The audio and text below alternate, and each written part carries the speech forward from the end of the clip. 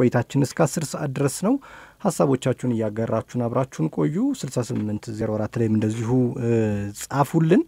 አሁን ደግሞ የስድስት ማዕዘን ስድስቱ ቅምሻዎችን ነው የምንነግራችሁ። እንግዲህ ቀደም ብለንም ለማስተዋወቅ እንደሞከር ነው ስድስቱ የግብረ ገብነት መገለጫዎች ምንድን ናቸው? እነሱን ነው የምንነግራችሁ። ግብረ ገብነት እንግዲህ ትክክለኛውን ስህተት ከሆነው ተገቢውን ተገቢ ካልሆነው ዓላማ ውሳኔና ድርጊት መለየት የመቻልና በፍትሐዊነት ላይ የተመሰረተ ሕሊናዊ ባህሪ ነው። እንግዲህ ግብረ ገብነት ከፍልስፍና ከሃይማኖት ወይም ከባህል የመነጩ መልካም እሴቶችም መገለጫ ነው። በአጠቃላይ ግብረ ገብነት መልካምነት ወይም ትክክለኛነት የሚለውን ትርጉምም ሊይዝ ይችላል።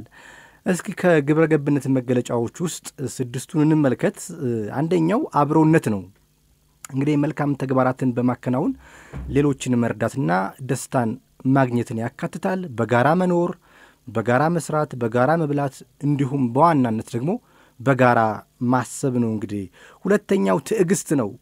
ትዕግስት ማለት ሁኔታዎች አስቸጋሪ በሚሆኑበት ጊዜ የሚኖረን የመጽናት ችሎታ ነው። ግጭቶች እንዲወገዱ ያደርጋል። ከጸጸት ያድናል። ለይቅርታም እንደዚሁ በር ይከፍታል። ሶስተኛው አክብሮት ነው። እንግዲህ አክብሮትን የሚያስቀድሙ ሰዎች ተግባቢና ዲፕሎማሲያዊ ሆነው ይታያሉ። በዕድሜም ሆነ በስራ ኃላፊነት አክብሮት መስጠትን ወይም መቀበልን ባህል ወይም ወግ እንግዲህ ማድረግ ደግሞ ጠቀሜታው እንደዚሁም የትየለሌ ነው ማለት ይቻላል። ስለዚህ ሶስተኛው እንግዲህ አክብሮት ነው። አራተኛው መቻቻል ነው። በሀገራችን ባህል ውስጥ እንግዲህ ሁልጊዜ እንደ አዎንታዊና ተፈላጊ ነገር ተደርጎ የሚወሰድ ነው መቻቻል። ትህትና እንግዲህ ትህትና ራስን ዝቅ ማድረግ ደግሞም ራስን ከፍ ማድረግ ነው። ትህትና ያለው ሰው የራሱን በትክክል ስለሚመለከት የሌሎችን ጉድለት አይመለከትም። ወደ ንጹሕ ልቦና እንግዲህ ሰገነት የሚወጣበትም መንሰላል ነው። የመጨረሻ ወይም ስድስተኛው እንግዲህ ፍቅር ነው። ፍቅር በሰው ልጆች እድገት ውስጥ አንዱ የማይታይ እጅ መሆኑን መገንዘብ ያስፈልጋል። ፍቅር በሌላው ያምናል። ብሰጥ አይጎልብኝም ይላል። ሌሎችን ለማገልገል እንደተፈጠረ እድለኛ ያስባል። ክብሩንም ያውቃል።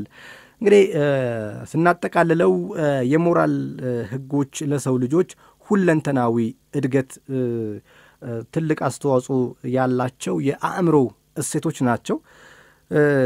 ለሕይወት የተሳካ መሰረት የሚጣለው ለእነዚህ ጉዳዮች በምንሰጠው ዋጋም ልክ ነው። ሰው ብቻውን ተወልዶ ብቻውን ኖሮ ብቻውን አስቦ ሁሉንም ፍላጎቶች ብቻውን አሳክቶ ብቻውን እንግዲህ ይኖርበት ዘንድ አይቻለውም። ስለዚህም ራሱን የሚያገኘው በሌሎች መካከል እንደመሆኑ የሕይወት ትርጉሙ የሚበየነው በእነዚህ በማኅበራዊ የሞራል ሕጎቹ አማካኝነት ነው ማለት ነው። ስለዚህም ግብረ ገብነት የአንድ የሰለጠነ ማኅበረሰብ እሴት መገለጫም ነው። እንግዲህ መልካም እናስብ ከሚል ላይ ነው ያገኘነው መረጃውን። ስለዚህም ስድስቱ የግብረ ገብነት መገለጫዎች ትዕግስት፣ አብሮነት፣ አክብሮት፣ መቻቻል፣ ትህትናና ፍቅር ናቸው። ግብረ ገብነት ደግሞ ለማህበረሰብም ለሀገርም እጅግ በጣም ቁልፉ ጉዳይ ነው። በግብረ ገብነት ያደገ ልጅ ሀገሩን ይጠቅማል፣ ማህበረሰቡን ይጠቅማል፣ አክባሪ ይሆናል፣ ትዕግስተኛ ይሆናል። ስለዚህም ግብረ ገብነት ለአንድ ሀገር እጅግ በጣም ቁልፉ ወይም ደግሞ ልጓሙ ነው ማለትም እንችላለን። የስድስት ማዕዘን ስድስቱ ቅምሻዎች እነዚህን ይመስላሉ።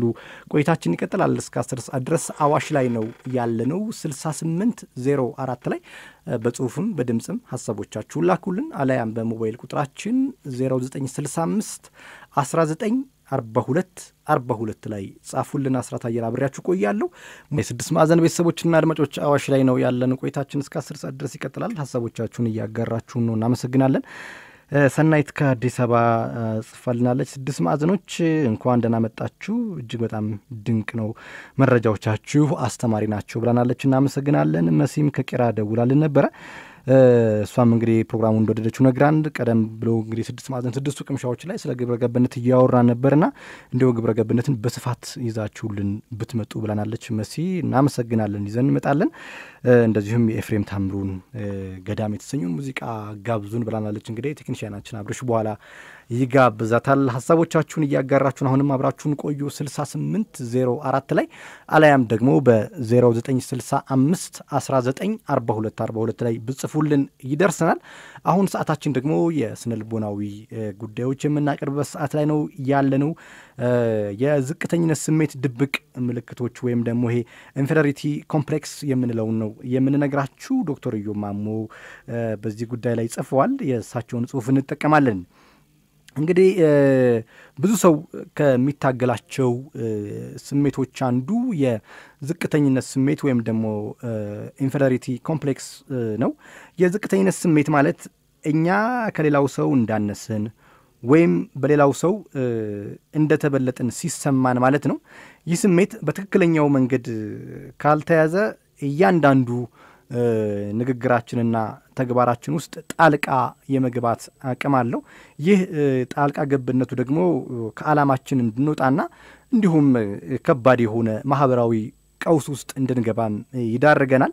እንግዲህ የዝቅተኝነት ስሜት እንዳለብን ለማወቅ እስኪ የሚከተሉትን መመዘኛዎች እናያቸው። አንደኛው የዝቅተኝነት ስሜት ውስጥ እንዳለን ለማወቅ የሚጠቁም ማለት ነው። አንደኛው ስለ ሰዎች ጤና ቢስ ወሬን ምናወራ ወይ ደግሞ ስለ ሰዎች ጤና ቢስ ወሬን ምናራባ ከሆነ ነው። ይህ የዝቅተኝነት ስሜት መገለጫ መነሻው እኛ የምንነሳው ሌላውን ስንጥል፣ የእኛ ሁኔታ የሚደምቀው የሌላውን ሰው ስም ስናጠፋ የሚመስልን ከሆነ ማለት ነው። ይህ ስህተት የሚመጣው ደግሞ በራሳችን መቆምና ማድረግ እንደማንችልና የተበለጠን እንደሆንን ስናስብ ነው።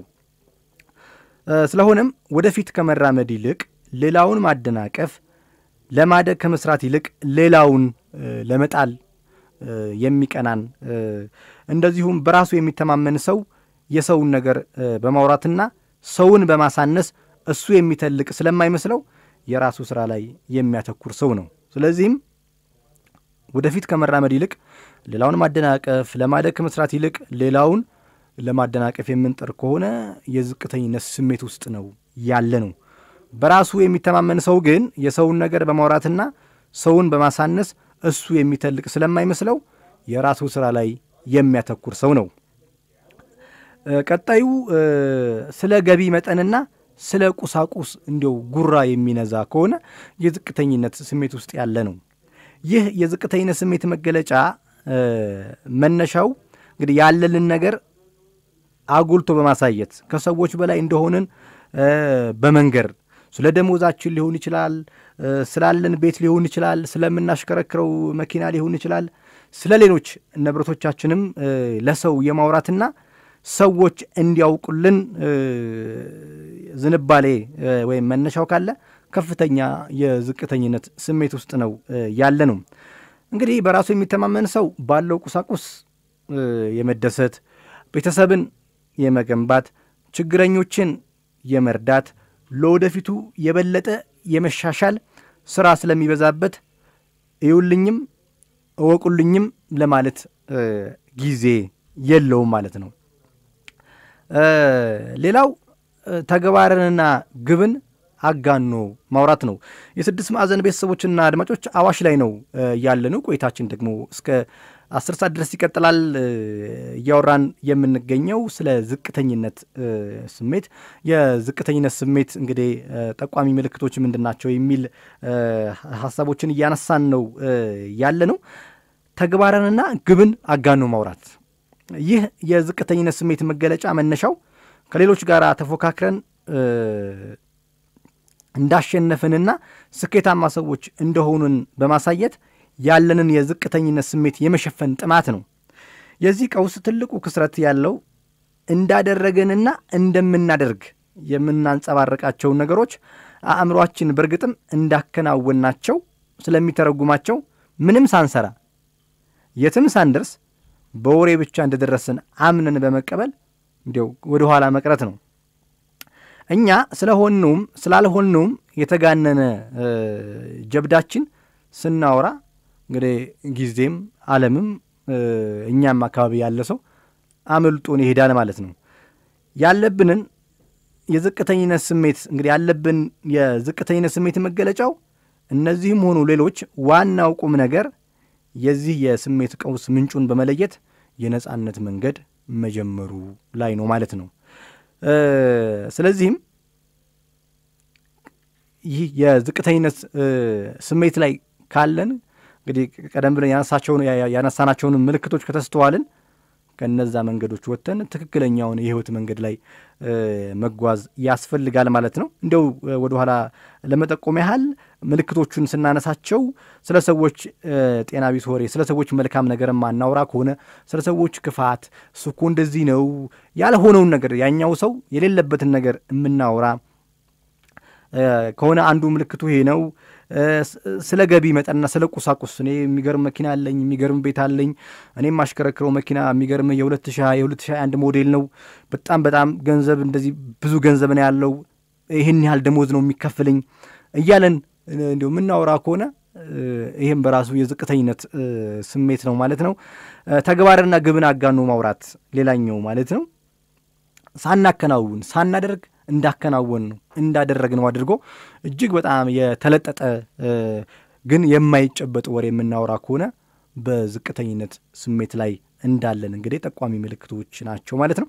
በስነ ልቦና ጉዳያችን ይህንን ተመለከትን። የስድስት ማዕዘን ቤተሰቦችና አድማጮች እናንተም ሀሳቦቻችሁን ንገሩን 0965 19 42 42 ላይ አለያም 68 04 ላይ በጽሁፍም በድምፅም ላኩልን 011 554 33 16 አሊያም በ011 554 33 19 ላይ ደውሉልን። ቆይታችን ይቀጥላል እስከ አስር ሰዓት ድረስ አዋሽ ላይ ነው ያለን። አስራት አየለ መረጃዎችን ወደ እናንተ እየላኩ አብሬያችሁ ቆያለሁ።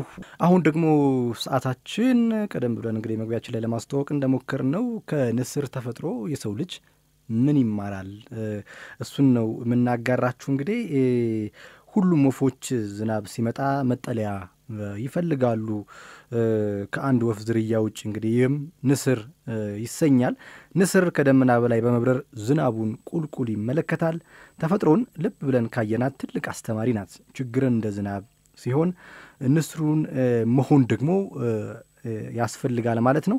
ችግራችንን ወደ ታች መመልከት ንስር እንደዚህ አይነት ነገር ሲገጥመው ደስ ነው የሚለው። እንዲያውም ወጀቡ ሲጀምር ንፋሱን እንግዲህ በመታገል የራሱን ጥንካሬም ይለካበታል።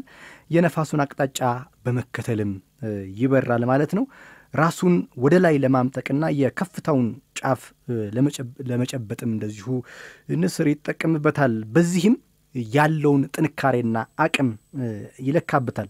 እንግዲህ የሰው ልጅም መከራም ያው ፈተናም ሲመጣ ልክ እንደ ንስሩ በወጀብና በአውሎ ንፋስ ውስጥም ቢሆን መንገድ አለና መከራውን ግብግቡን የአዳዲስ ሀሳቦች እንግዲህ መነሻንም የጥንካሬ መለኪያ አቅምህን የምትጠቀምበት አጋጣሚ እንደሆነ በማሰብ ልክ እንደ ንስሩ ጠንካራና የትኛውም ችግር ቢመጣ ለዛ ሁሉ ችግር ሁነኛ መፍትሄ እንዳለው አድርጎ ማሰብ ያስፈልጋል ማለት ነው። ስለዚህም የሰው ልጅ ከንስር እጅግ ብዙ ሊማርባቸው የሚችሉ ነገሮች አሉ። እንዲያው ጥቂቱን እንማራለን። እንግዲህ ንስር ዝምተኛ ነው፣ ነገር ግን ሰማይን የመንካት ከደመና በላይ የመብረር ኃይል አለው። እኛስ ከንስር እንዲሁ ምን እንማር ይሆን? ብዙ ድንቅ የሆኑ ጥንካሬዎች አሉት ንስር። አንደኛው ንስር በከፍታ ላይ ብቻውን የመብረር ልምድ አለው። ፈጽሞ እንግዲህ ከሌሎች ቀርፋፋ ከሚባሉት አዋፋት ጋር የመብረር ፍላጎትም የለውም። እንግዲህ እኛስ ከማን ጋር ነው እየዋለን ያለ ነው? ዓላማችንን ከሚያጠነክሩ ነው ወይስ ዓላማችንን ከሚያደናቅፉ ይሳካል ከሚሉ ናቸው ወይስ አይሳካም ቶው ብለው ከሚመክሩን ጋር ነው ያለ ነው? ስለዚህም ዓላማችንን ከሚያደናቅፉ ወደ ታችን ሊጎትቱ ከሚችሉ ሰዎች ጋር ከሆንን እንግዲህ አሁኑኑ ከዛ አካባቢ ዞር ማለት ያስፈልጋል ማለት ነው። ምክንያቱም ጓደኛህን ንገረኝና ማንነትህን እነግርሃለሁ የሚል አባባልም አለ። ስለዚህ የሰው ልጅ እንግዲህ ንስር በከፍታ ብቻውን የመብረር ልምድ አለው። ፈጽሞ እንግዲህ ከቀርፋፋ ነው ከሚላቸው አዕዋፋት ጋርም እንደዚሁ የመብረር ልምድ የለውም። ስለዚህ እኛም ዓላማችንን ግባችንን ከሚያደናቅፉ ሰዎች ጋር እየዋልን ከሆነ ከዛ አካባቢ ላይ ዞር ማለት ያስፈልጋል ማለት ነው። ሌላኛው የሰው ልጅ ከንስር ምን ይማራል? ንስር ጥሩ ዓላማ ያለው አዕዋፍ ነው። እንግዲህ በአምስት ኪሎ ሜትር ርቀት ላይ ካለ ነገር ላይ የማነጣጠር ብቃት አለው ንስር። እንግዲህ አንዴ በእይታው ውስጥ የገባን ነገር እስከሚይዝ የፈለገ እንቅፋት ቢገጥመው በፍጹም ትኩረቱን ከዓላማው ላይ አይነቅልም። ምንም አይነት እንግዲህ ችግር፣ ተግዳሮት ቢገጥመን ትኩረት ካደረግንበት እንግዲህ ጉዳይ ወይም ዓላማ ላይ ፈጽሞ እንግዲህ ተስፋ እንዳንቆርጥ ከንስር መማር እንችላለን ማለት ነው። እንግዲህ ወደ ስራ ወደ ቢዝነስ ዓለም ስንገባ ብዙ አይነት ተግዳሮት፣ ብዙ አይነት እንቅፋቶች ሊገጥሙን ይችላሉ። ነገር ግን እናሳካዋለን፣ እናደርገዋለን ብለን ካሰብንበት ግን እንደምናደርገው እንደምናሳካው ንስር ጥሩ ምሳሌ ይሆናል። ንስር ፍርሃት የማያውቅ ነው። እንግዲህ በግዝፈቱና በብዙ እጥፍ የሚበልጠውን ድኩላ እንኳን ታግሎ ከተራራ ላይ ፈጥፍጦ የሚመገብ ነው። እንግዲህ ስኬታማ ሰዎች ፍርሃታቸውን ያሸንፉ ናቸው። እንግዲህ ለመጀመር የመጀመሪያው ነገር መጀመር ነው ይባላል እና የጀመሩ ሰዎች ናቸው መጨረሻቸው የሚያሳኩት።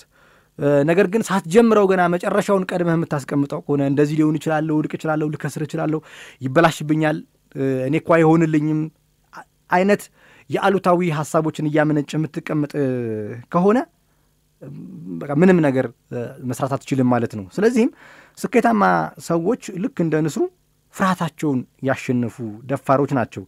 ምንም ያህል ግዙፍ የሆነ እንቅፋት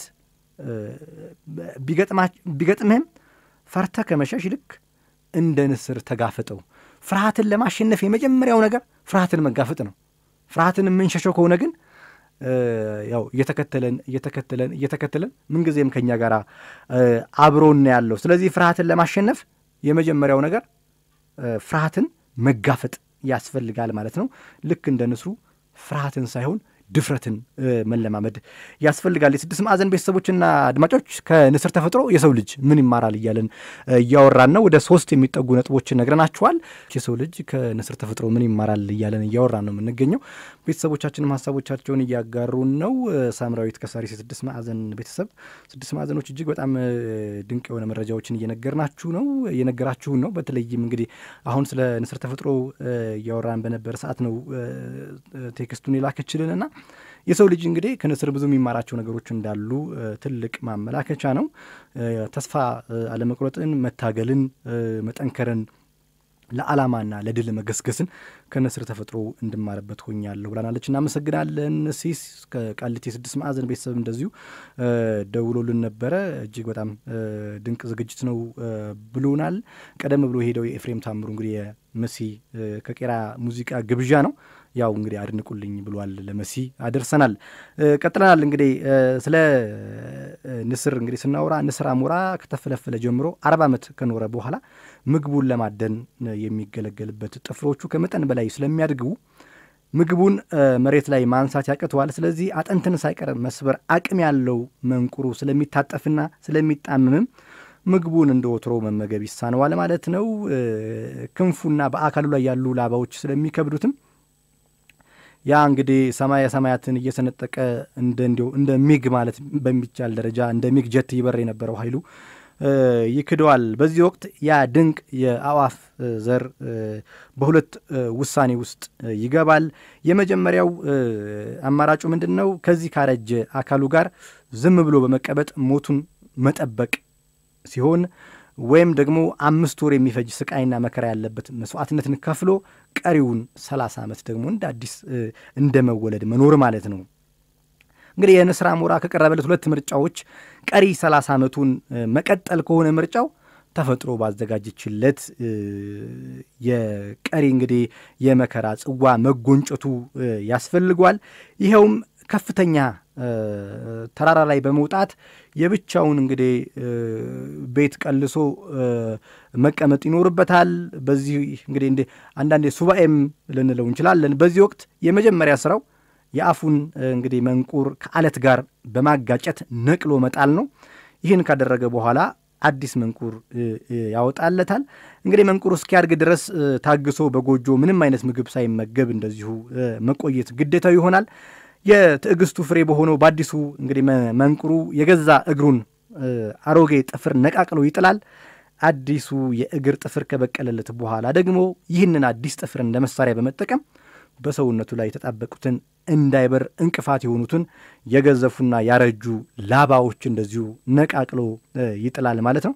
በምትኩ አዲስ ላባ ይበቅልለታል። በዚህ በአምስት ወር መልኩ በቆይታው ጊዜ እንግዲህ እነዚህ ነገሮች ከተወጣ በኋላ እንደገና ራሱን በራሱ ወልዶና ወጣት ሆኖ ወደ ንስሮቹ መንደር እየተንጎማለለ ብቅ ይላል ማለት ነው። በዕድሜው ላይ እንግዲህ ሰላሳ ዓመት ጨምሮ በበረራው እንደተለመደው ሰማያ ሰማያትን እየሰነጠቀ ከፍ እንደ ግብሩ እንደ ልማዱ ከፍ ብሎ እየበረረ ሕይወትንና ደስታን በውሳኔው ባተረፈው ሰላሳ ዓመት ሙሉ በከፍታዎቹ ላይ እንግዲህ በድል ላይ ድል በግርማ ሞገስ ላይ ሞገስ ጨምሮ ይበራል። ይህ እንግዲህ አስደናቂው የንስር ተፈጥሮ ነው። ቀደም ብለን ወደ ሶስት የሚጠጉ ነጥቦችን ነግሬያችሁ ነበረ። አንደኛው እንግዲህ ንስር ጥሩ ዓላማ አለው። ሌላኛው ንስር በከፍታ ላይ ብቻውን የመብረር ልምድ አለው። ሶስተኛው ንስር ፍርሃትን የማያውቅ ደፋር ነው። አራተኛው ተግዳሮትህን ተቀበለው ወይም ተጋፈጠው ነው። እንግዲህ ለንስር ትልቁ ተግዳሮት የንፋስ ግፊት ነው። ከፍ ብሎ በሚበር ሰዓት እንግዲህ ከፍተኛ የሆነ የንፋስ ግፊት ይገጥመዋል። ታዲያ በዚህ የንፋስ ግፊት ንስሩ ይበረታል እንጂ እንደ ሌሎች አዋፋት ወደ ጎጆ አይሄድም፣ ወደ ጎጆ ገብቶም አይቀመጥም። ይልቅም ይህ የንፋስ ግፊት ለንስሩ ይበልጥ እንዲጠነክር ይበልጥ እንዲታገለው ያደርገዋል። የንፋሱን ግፊት ከነበረበት ከፍታ በላይ ከደመና ከፍ ብሎ ለመብረር እንዲያውም ይጠቀምበታል። ክንፎቹን ከማማታት ያሳርፍበታል። ተግዳሮታችንን እኛም የሰው ልጅ እንግዲህ ተግዳሮታችንን ወደ ድል መቀየር ያስፈልጋል ነው እንቅፋቶችን ገፍቶ እንቅፋታችን ገፍቶ እንዳያሸንፈን እንዲያውም እኛ እንቅፋታችንን በመጣል አዲስ የህይወት መንገድን መጀመር ከንስር ተፈጥሮ እንማራለን። ሌላው ንስር ራሱ ያላደነውን ሌላው የገደለውን አይበላም። እኛስ ሌሎች በከፈቱት መንገድ ሌሎች ያመጡትን ነገር ነው የምንጠቀመው። እኛስ አዲስ ነገር የመፍጠር አዲስ ነገር የማምጣት ለሀገርም ለወገንም ለማህበረሰብም ምን ይዘን መተናል ብለን ራሳችንን እንድንጠይቅ ያደርገናል ማለት ነው። ስለዚህ የሰው ልጅ ከንስር ተፈጥሮ እነዚህን ነገሮች መማር ይችላል። እንዲው ለመከለስ ያህል ንስር በከፍታ ላይ ብቻውን የመብረር ልምድ አለው። ያም ለምንድን ነው? ሌሎች ከሌሎች ቀርፋፋ አዋፋት ጋራ የመብረር ፍላጎት የለውም። እኛስ ውሏችንን ከማን ጋር ነው? ወደ ስኬታችን የሚያፋጥኑ ናቸው ወይስ ስኬታችንን የሚጎትቱት ናቸው? ራሳችንን ልንጠይቅ ይገባል። ንስር ጥሩ ዓላማ አለው። ስለዚህ የሰው ልጅም ለዓላማው ሟች መሆን አለበት። ዓላማውን ማሳካት ላይ የግድ መጣር ያስፈልገዋል። ንስር ይሄንን ይነግረናል። ንስር ፍርሃት የማያውቅ ደፋር ነው። የሰው ልጅ ምንም አይነት እንቅፋትና ፍርሃት ወይም ችግር ቢገጥመው ልክ እንደ ንስሩ ደፋር ከሆነ ቅድም ብያለሁ፣ ለፍርሃት የመጀመሪያው ነገር ፍርሃትን ማሸነፍ ነው። ለመጀመር የመጀመሪያው ነገር መጀመር ነው። ስለዚህ ደፋር ከሆንን ምንም ያህል ግዙፍ የሆነ እንዲያው እንቅፋት ቢገጥመን ወደ ኋላ ከመሸሽ ይልቅ እንደ ንስሩ ተጋፍጠነው ወደፊት መራመድን እንችላለን ማለት ነው። ተግዳሮትን መቀበል መጋፈጥ፣ እንዲያውም ተግዳሮትን ወይም እንቅፋትን እንደ መልካም አጋጣሚ በመፍጠር አዲስ የህይወት መንገድን መጀመር ይቻላል። ንስር ራሱ ያላደነውን ሌላ የገደለውን ግድ አይበላም። እኛስ የሰው ልጆች ምን አዲስ ነገር ይዘን መተናል? ይህንን ከንስር ተፈጥሮ የምንማረው ነው። የስድስት ማዕዘን ቤተሰቦችና አድማጮች እንግዲህ ከንስር ተፈጥሮ የሰው ልጅ ምን ይማራል በሚል እነዚህን ጉዳዮች አነሳሳን። ስምንት ሰዓት የጀመረው የስድስት ማዕዘን ዝግጅት እነሆ ሊጠናቀቅ እንግዲህ ጥቂት ደቂቃዎች ይቀሩታል። ሀሳቦቻችሁን እያጋራችሁን አብራችሁን ቆዩ። 0965 194242 ላይ ጻፉልን። የስድስት ማዕዘን ቤተሰቦችና አድማጮች ከስምንት ሰዓት ጀምሮ እንግዲህ ከእናንተ ጋር አብሬያችሁ የቆየሁት አስራት አየለ ነኝ። በቴክኒኩ ደግሞ አለህኝ ቢተው አብረውን ነበረ። ከእኛ ጋር የፊታችን ሰኞ እንገናኛለን። መልካም ጊዜ፣ መልካም ቆይታ ተመኘንላችሁ። ስድስት ማዕዘን ምንጊዜም ይላል። አብረን ስንሆን ሁላችንም እናሸንፋለን።